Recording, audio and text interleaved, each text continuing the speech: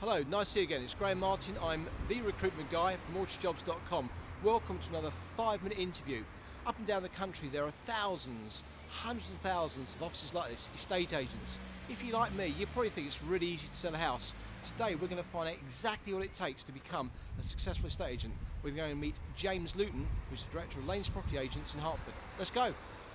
So, James, James Luton, director with Lanes Property Agency in Hertford. Thank you for your time. I know you're really, really busy, so thanks for giving us a couple of minutes. We're going to try and get this in five minutes or under. So, let's kick off. What do you do for all that money as an estate agent? What's your job really about? What's it about? Right, well, it's a completely varied day. So the staff will generally get in at half past eight. I'm usually here an hour or so before that. Um, uh, for a sales negotiator, it's going to be out viewing properties with, with buyers. It's going to be about seeing sellers and trying to get their property on our books, talking to solicitors, mortgage advisors, delivering leaflets, uh, collecting a for sale board. It could be you know anything, any one of those. So are you out a lot? day. Yeah, I'd say we're probably out more than half the day. Really? To be honest with you, That's- out away from the desk. Yeah. And what do you think is the best bit for you about being an estate agent?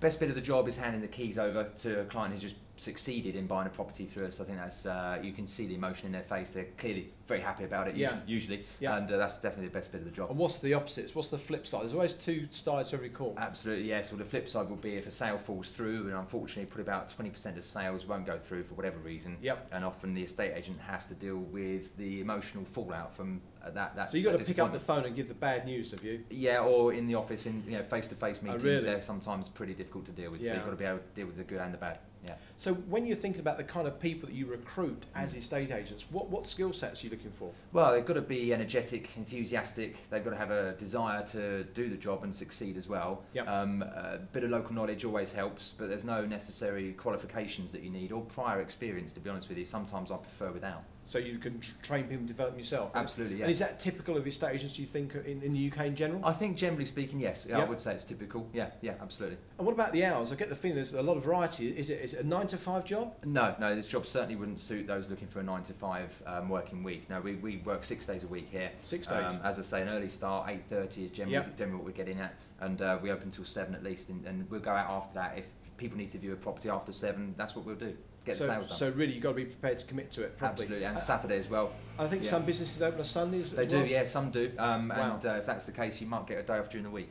But not necessarily if you're not hitting target. no, exactly. Yes, yeah. It's a very competitive industry. business, isn't it? Yeah, definitely. Yeah, I mean, there's nine estate agents in Hertford, so of course you're competing all the time for Yep. sellers' business, and you want to also compete for buyers to want to buy through you as well. And so, do you get on with the other agents, or is like football? Uh, well, we don't necessarily socialise down the pub with you know, over a beer at the end of the day, and um, no, I tend to try and uh, disassociate myself away from that and just keep it purely business to business.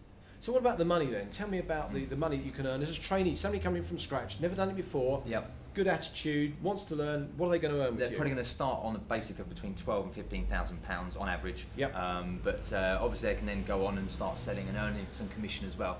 Um, but uh, that's the average starting salary, twelve to fifteen. so how much would you earn in terms of your overall salary as a percentage? Do you think? Um, well, I'd say by the time you're about a year or so down the line and you've got some pipeline of sales going through, Yep. you're probably going to look at between 60 to 70% maximum of Really? your- of your income per month will be commission based Wow. for And, successful and agent. what could you earn then in, in your first year, or maybe in, your, in year two, once you're Yeah. maybe not a superstar, but you're doing okay? Yeah, I mean, a, a- an average to half decent estate agent should probably be banking around 25 to 30,000 pounds uh, at the end of year two, I'd right. suggest. And where can it go on to? How can you develop and, and, and money wise, and what's promotion like? Well, prospects are brilliant. I mean, I'm a fairly good example. I started off as a trainee negotiator about 12 or 13 years ago. Yeah. And I'm now the director of Lanes Hertford. Um, so, yeah, come all the way through the ranks and um, managed to succeed. And, and what do you look for when you're looking to recruit? Are there a couple of uh, skill sets or, or attitude aspects that you're that you're looking for? Well, as I said before, enthusiasm, energy, um, uh, effective organisational skills as well is absolutely crucial um, in, in my in my view. Um, but other than that, as I said, no necessary experience or skill sets, but they've got to they've got to want to do the job. You know, I know it sounds obvious, but the Mm. hours are long, but the the plus sides are also there to be had. Um, do you need to be able to drive? Yes, yeah, for me that's essential. You know, in Hertford, some of our appointments can be seven or eight miles away, so Right. that's an essential part. But in central London, could somebody maybe get by if they if they jump on the I've tube? got friends of mine who work in central London. They get the training every day, Right. and they're estate agents, Right. so yeah, don't need Okay. a license there. So if somebody's interested in becoming an estate agent, there's some websites or associations or, or magazines they can pick up. I'd probably start with the National Association of Estate Agents website. There's an excellent section of careers advice there. Yep. Um, or go to a decent um, recruitment consultant, for example. Like mine. Good plug. Thank you for that. And, and if you were thinking about one particular aspect, if you're interviewing somebody, they come to you for the first time, Mm. what are you looking for? What's going to inspire you to say, you know what, I'm going to take him or her? Probably their energy. If I could pick one thing, it would be their energy. How enthusiastic are they about the job? And uh, as a secondary um, uh, bit of information from that, you know, what sort of research have they done in terms of what do they know about our company? Great, That's good stuff. always a good thing to look Well, look, we've nailed it in just under five minutes. Thank you very much.